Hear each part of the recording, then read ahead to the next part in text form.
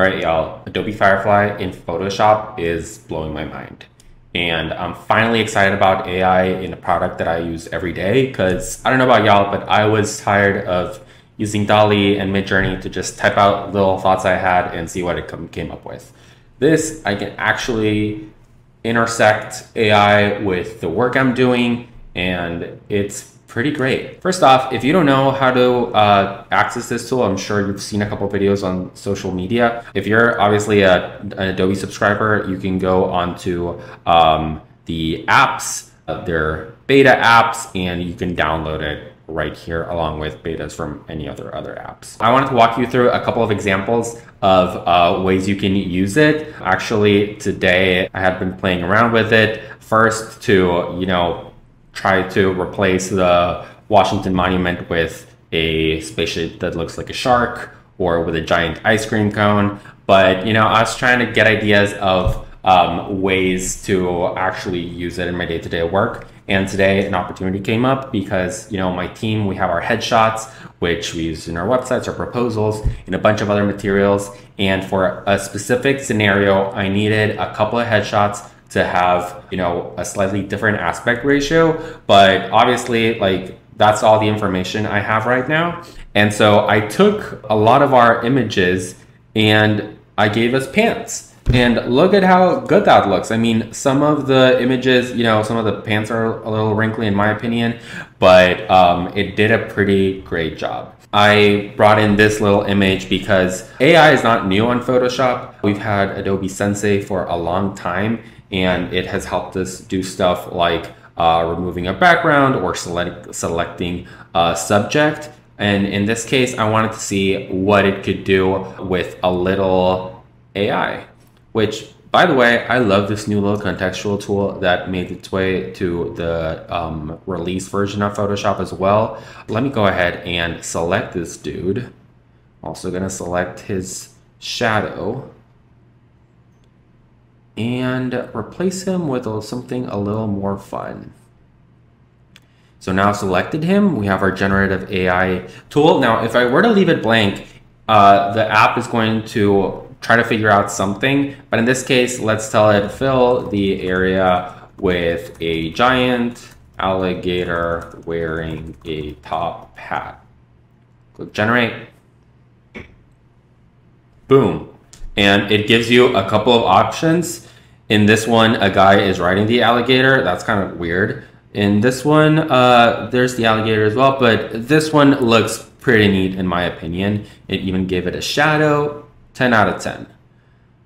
Let's go into this other uh, case because you know sometimes I'm working on a campaign on creative direction for it, and I need to create some you know example ads, um, or I'm working on ads themselves, and I use an, an image. And you know, I might want to have some text on the image, but sometimes I want to retain some of the imagery and just, you know, have some extra space to add anything else. So let's take this image here and extend it. And let's see what uh, generative AI uh, does to fill in the information. So I'm going to crop it and then I'm going to use the marquee tool to select the area to fill, use just generative fill, and Let's click just generate because I don't exactly have to give it a, a prompt. And uh, if I don't give it one, it'll just use the information of the image similar to the content aware tool to fill in the gaps. It filled it in with more books. It gives me a few variations and I think I like this one. Let me even go a little taller and see how far I can take this one. That is so cool. Let's see the variations. It even gave me a ceiling to work with if I didn't want the bookshelves to go all the way to the top like it's freaking Ollivander's. That is so cool. You know, I gave y'all the initial example of how I gave my coworkers extra pants. Something that very interesting that happened was that one of my female coworkers, when I extended their image, it gave her a skirt and leg tattoos for whatever reason. And it made me think if there's any sort of biases in this AI. Obviously, I'm sure there are biases in these language models. And I just wanted to test it out with another image to see, you know, let's try to extend this image and see if uh, it somehow thinks that this is, you know, uh, a woman in the picture and tries to give them a skirt or anything like that, or if it'll give them pants. So let's try it, try it out.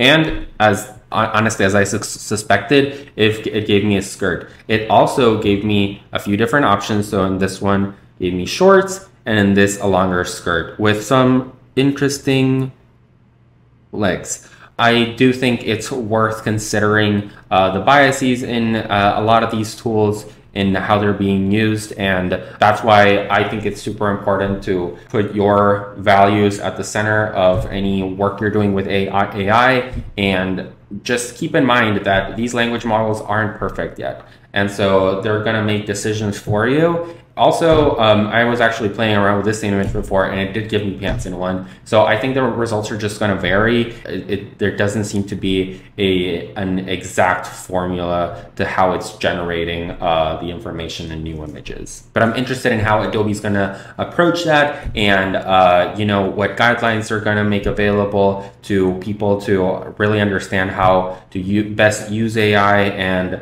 um, not allow any sort of unsafe content or um, anything that might spread disinformation. So there's still a lot of work to be done in uh, the world of AI, but I just love this sort of application in a tool that I'm using because I'm tired of seeing tweets about graphic designers uh, being out of jobs and uh, no, we're not out of jobs. We're just learning new tools and how to enhance our current workflows. And uh, I think this is an amazing application of AI. So I'm going to keep playing around with it and make sure to follow us. And I'll keep sharing tips on how I'm using AI in my own